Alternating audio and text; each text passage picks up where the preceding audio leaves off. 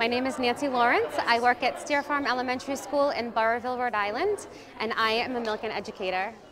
I, I think celebrating teachers makes them feel like what they're doing is helpful, makes a difference, and is worthwhile. Especially right now in the, the years that we've gone through, teachers are very, very tired and don't always feel like they've maybe hit the mark at the end of the day. So getting that little bit of recognition or reassurance makes a big difference.